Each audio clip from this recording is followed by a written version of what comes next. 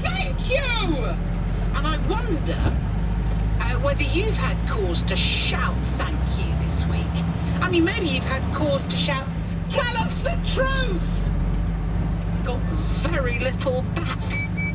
However, if you have, I'd like you to tell me harvests, bird top trumpingtons, and all menopausal madness, Parker here, freezer roulette, you know, in order to put something in from the harvest, you might you might have to have pulled something out. It could have been a mole. Tell me what it was. Uh, children insulting you by accident. And uh, we always need a bit of moho and caravan news. Moho and cara. Uh, you know, if you've had a moment of pleasure and you think we'd benefit from hearing about it, then come on, share.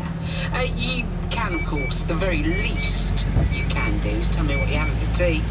88291 lisa.t at bbc.co.uk. I love a good cover. You know that. I can't bear a bad cover. Who can? However, I think I like it that it's a sort of a, it's a bit of double pleasure because you've got one artiste homaging another which makes them quite human, doesn't it, really? So, um, you know, loving a song so much that you want to have a go at it, it's almost daring.